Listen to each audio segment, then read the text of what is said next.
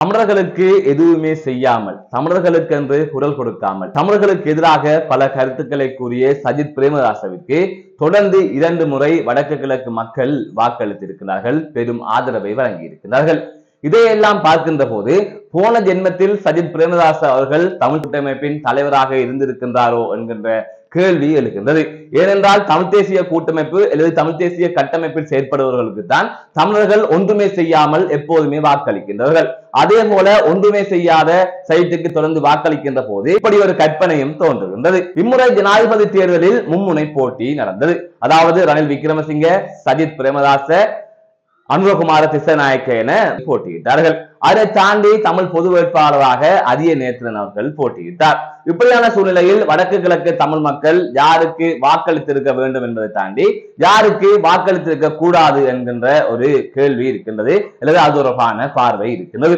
உதாரணத்திற்கு ஒவ்வொரு வேட்பாளராக நாங்கள் சீர்தூக்கி பார்க்கின்ற போது ரணில் விக்ரமசிங்க மீது தமிழர்கள் முன்வைக்கின்ற ஒரு குற்றச்சாட்டு என்னவென்று சொன்னால் புலிகள் அமைப்பை பிரித்தார். அதற்கு பிறகாக தமிழ் தேசிய கூட்டமைப்பை உடைத்தார். தமிழர் கட்டமைப்புகளையே மெல்ல மெல்ல மெதுவாக சத்தமே இல்லாமல் அழிக்கக்கூடியவராக ரணில் விக்ரமசிங்க அவர்கள் இருக்கின்றார்.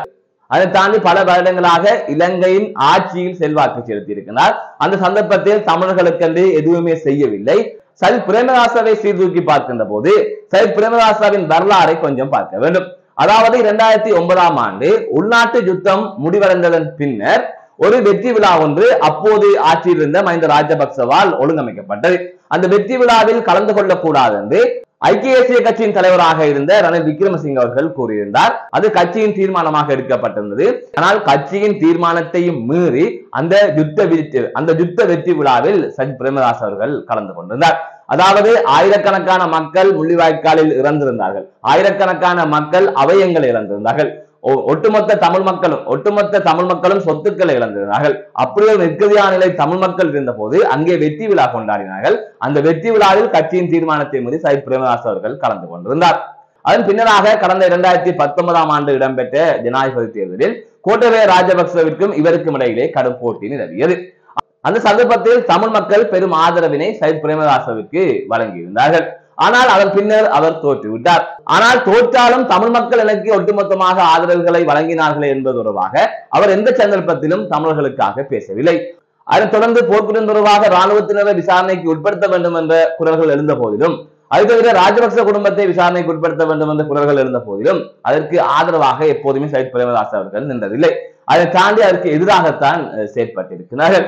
இது ஒரு புறம் இருக்க ஆயிரம் விகாரைகளை வடக்கு கிழக்கு பகுதியில் கட்டிவேன் என்றும் அவர் கூறியிருந்தார். அதை தாண்டி இது சிங்கள பௌத்த நாடு சிங்கள பௌத்தத்திற்கு அமையவே ஆட்சி செய்வேன் என்றும் கூறியிருந்தார். இதே இவற்றையெல்லாம் தாண்டி பிரேமதாஸ் அவர்கள் புலிகளுக்கு ஆயுதம் கொடுத்ததை புலிகள் அமைப்பை இரண்டாக பிளவுபடுத்தத்தான் என்று கூறியிருந்தார். ஆகவே இவ்வளவு விடயங்களை கூறிய சயித் பிரேமதாசவிற்கு மீண்டும் மீண்டும் ஆதரவுகளை வழங்கி இருக்கின்றார்கள் வடக்கு கிழக்கு மக்கள். சயித் பிரேமதாசவிற்கு கடந்த ஜனாதிபதி தேர்தலிலே மக்கள் பெரும் ஆதரவை வழங்கினார்கள் அந்த ஆதரவை மனதில் வைத்துக் கொண்டாவது எதிர்கட்சி தலைவராக இருக்கின்ற போது சில விடயங்களை தமிழர்களுக்காக பேசியிருக்கலாம். ஆனால் செய்யவில்லை. தற்போதும் தமிழ் மக்கள் அவருக்கு ஆதரவு வழங்கியிருக்கிறார்கள். ஆனால் தற்போதும் அவர் தோற்றுவிட்டார். ஒருவேளை அவர் வென்றிருந்தால் தமிழ் மக்கள் பெரும் பாதிப்புகளை எதிர்நோக்க வேண்டி வந்திருக்கும். அவருக்கு வடக்கு கிழக்கு தமிழ் மக்கள் மீது எந்த அக்கறையும் இல்லை. வடக்கு கிழக்கு தமிழ் மக்களை அவர் விரும்புவதும் இல்லை. ஆனால் தமிழ் மக்கள் இரண்டு முறை தொடர்ந்து பெரும் ஆதரவுகளை வழங்கி இருக்கின்றார்கள் ஆனால் அவர் தமிழ் மக்களுக்காக வந்திருந்தால் கூட எதையும் செய்திருக்க மாட்டார். மாறாக சைத் பிரேமதாசவின் வலதுகரமாக ரிசார்ட் பதிவுதீன் அவர்கள் இருக்கின்றார். அதில் சுமந்திரன் அவர்கள் இருக்கின்றார். இரண்டு பேருமே இரண்டு பேராலுமே தமிழகத்துக்கு ஆபத்து என்று தமிழர்கள் தான் கூறிக்கொள்ளுகின்றார்கள். ரிசார்ட் பதிவுதீன் வந்தால் அனைத்து அபிவிருத்தியாக இருக்கட்டும் அனைத்து வேலை வாய்ப்புகளாக இருக்கட்டும் முஸ்லிம்களுக்கு போகும் தமிழர்களின் வேலை வாய்ப்புகள் அபிவிருத்தி சார்ந்த செயற்பாடுகள் பறிக்கப்படும் என்று தமிழ் மக்கள் குற்றம் சாட்டுகிறார்கள் மறுபுறம் கிழக்கு மாகாணத்துக்கு முஸ்லிம் ஆளுநர் வேண்டும் என்று அவர்கள் முதலில் ஒப்பந்தம் போட்டார்கள். ஆகவே முஸ்லிம்களிடம் தமிழர்களின் இடிப்பை துளைக்க வேண்டிய ஒரு சூழல் வரும். இவ்வாறு பல பிரச்சனைகள் இருந்தும் வடக்கு கிழக்கு தமிழ் மக்கள் சைத்துக்கு வாக்களித்திருக்கிறார்கள் இங்கே எதுவுமே செய்யாதவருக்கு ஆதரவு வழங்கியிருக்கிறார்கள் ஆனால் ஆனால் மற்றவர்களை குறை சொல்கின்றார்கள். அதாவது இவர்கள் வாக்களிக்காமல் இவர்கள் ஆதரவு வழங்காமல் மற்றவர்கள் எங்களுக்கு ஒன்று செய்யவில்லை என்று சொல்லி ஏனைய ஏனைய அரசியல்வாதிகளை குறை கூறிக்கொண்டிருக்கிறார்கள் ஆனால் இவர்கள் ஆதரவு அளித்தவர்கள் இவர்களுக்கு என்ன செய்தார்கள் என்று கேட்டால் எதுவுமே செய்யவில்லை. அது பற்றி இவர்கள் கேள்வி கேட்காமல் மீண்டும் அவர்களுக்கே வாக்களிக்கிறார்கள். இவற்றையெல்லாம் பார்க்கின்ற போதுதான் சஜித் பிரேமதாஸ் அவர்கள் முன் ஜென்மத்தில் தமிழர் அரசியலை முன்னெடுத்து சென்ற ஒருவராக இருந்திருப்பாரோ என்கின்ற வகையில் என்ன தோன்றுகிறது? அதாவது கடந்த காலங்களில் தமிழ் தேசிய கூட்டமைப்பாக இருக்கின்ற போது சம்பந்தன் அவர்கள் இப்படியான கருத்துக்களை எல்லாம் கூறிய போது அதில் தமிழர்களுக்கு எந்த நல்லதும் செய்யாத போது கூட்டமைப்புக்கு தொடர்ந்து வாக்களித்துக் கொண்டிருந்தார்கள். தற்பொழுது அதே வாக்களுக்கு வாக்களிப்பதற்கும் தயாராக இருக்கிறார்கள் ஆகவே தமிழ் மக்கள் வாக்களிப்பார்கள். ஆனால் அவர்கள் எங்களுக்கு ஏதாவது செய்யணும் என்று எதிர்பார்க்க மாட்டார்கள். அவர்கள் அநியாயம் செய்தாலும் அவர்களுக்கு வாக்களிப்பார்கள். ஆனால் இவர்கள் யாருக்காவது அநியாயம் செய்வார்கள்? அவர்கள் இவர்களுக்கு நல்லது செய்ய வேண்டும் என்று நினைக்கின்ற ஒரு புத்தி தமிழ் மக்களுக்கு இருக்கின்றது. அதன் எதிரொலிதான் இந்த சைத் பிரேமதாசவிற்கு விழுந்த இவ்வளவு வாக்களும் என்கின்ற கருத்து இருக்கின்றது.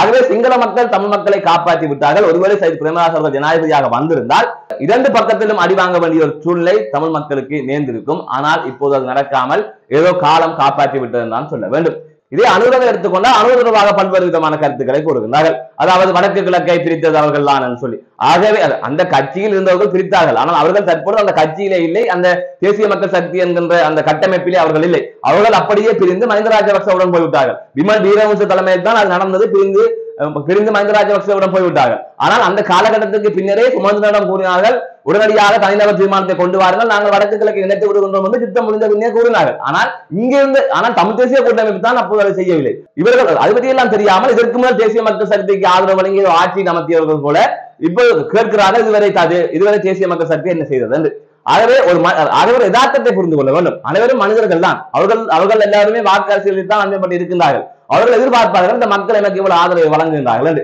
அப்படி எந்த ஆதரவும் வழங்காலும் வெறும் எதிர்ப்பை தெரிவிக்கின்ற போது அவர்கள் எங்களுக்கு ஏதாவது செய்யவில்லை என்று கேட்கின்றீர்கள். ஆனால் ஆனால் உண்மையிலே ஜனாதிபதியானவர் எல்லாருக்கும் பொதுவானவர் செய்யத்தான் வேண்டும். அது வேறொரு விடயம். ஆனால் இப்படி இருக்கின்ற போது நீங்கள் வாக்களித்தவரிடம் ஏதாவது கேளுங்கள் நீங்கள் வாக்களித்து எவருமே எதையுமே கேட்க மாட்டீர்கள். கடந்த நல்லாட்சி காலத்தில் மைத்திரிபால சிறிசேனாவுக்கு வாக்களித்தவரும் சட்டம் தான் இருந்தீர்கள் ஆகவே நீங்கள் வாக்களித்தவர்களிடம் எதையுமே கேட்காமல் ஆதரவு வழங்கியவரிடம் எதையுமே கேட்க ஆதரவு வழங்கியவர்களிடம் எதையுமே கேட்காமல் நீங்கள் தான் ஆட்சி நீங்கள் ஆட்சிக்கு கொண்டு வந்தவர்களும் எதையுமே கேட்காமல் இவையெல்லாம் விட்டு விட்டு நீங்கள் அவர்களுக்கு வாக்களிக்காமல் விட்டு அவர்கள் உங்களுக்கு நல்ல செய்ய வேண்டும் என்று நினைக்கின்றீர்கள். ஆனால் நீங்கள் வாக்களித்த ஆனால் நீங்கள் வாக்களித்தவர்கள் நீங்கள் நல்ல செய்தவர்கள் அனைவரும் உங்களுக்கு அநியாயம் செய்து கொண்டிருக்கிறார்கள் அது விளங்காமல் திரும்ப திரும்ப ஆதரவுகளை வழங்கிக் கொண்டிருங்கள். எனவே தமிழ் மக்கள் கொஞ்சம் சிந்திக்க வேண்டும். அரசியல் ரீதியான பார்வையை விரிவுபடுத்த வேண்டும். ஆகையால் இதனை தாண்டி இனியாவது கொஞ்சம் விழிப்புணர்வுடன் இருங்கள். தற்பொழுது நாடாளுமன்ற தேர்தல் வர இருக்கின்றது. இதிலே அந்த பழைய நபர்கள் எல்லாம் வீட்டுக்கு அனுப்பிவிட்டு புதிய தலைமைகளை உருவாக்குங்கள். புதியவர்களை நாடாளுமன்றம் அனுப்புங்கள். அதற்கு தயாராகுங்கள். மீண்டும் ஒரு காணொலி சந்திக்கின்றேன். நான் நடராஜ் அஜயகாந்தன்